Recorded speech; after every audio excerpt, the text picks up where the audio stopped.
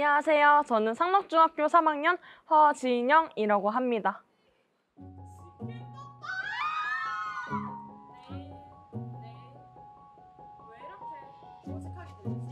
저는 삼총사에서 활발함과 유머를 담, 담당하고 있는 유이수 역할을 맡게 되었는데요. 그 친구는 정말 활발하고 밝고 재밌는 캐릭터인 것 같아요. 삼총사를 이제 관람 보실 때 여기 핀을 집중적으로 포인트 두시고 보시면 더 재밌게 보실 수 있을 거라 믿습니다.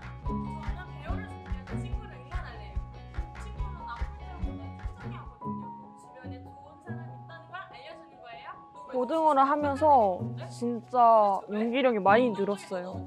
진짜 좋은 가르침과 좋은 선생님들 밑에서 좋은 배움을 받아서 연기력이 많이 늘었습니다. 그래도 지금도 서툰, 서툴고 잘 못하는 경향이 없지 않아 있는데 그래도 처음보다는 많이 늘었습니다.